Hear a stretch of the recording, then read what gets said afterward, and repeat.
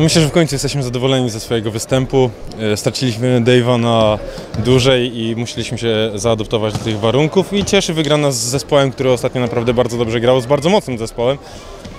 A w obliczu naszych ostatnich porażek, no to punkty były bardzo potrzebne.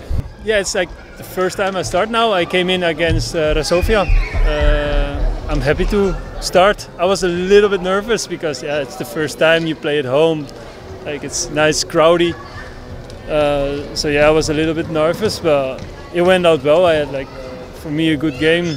Of course, there are things I have to work on, and I will do it this week, and uh, we will see the next game. No Myślę, że nawet kiedy mecze, to, to blok zawsze stał na jakimś przyzwoitym poziomie. To jest nasza siła w tym sezonie, no i musimy z tego korzystać jak najczęściej. I think we stay together. We stay together as a team. Uh, it's important to stay together as a team because they were like pushing till the end. Even in the fourth set, when we are leading five, six points, they stay pushing to win the set, and it's important to stay together. So I think we managed our mistakes and we stay together, and on that way we win.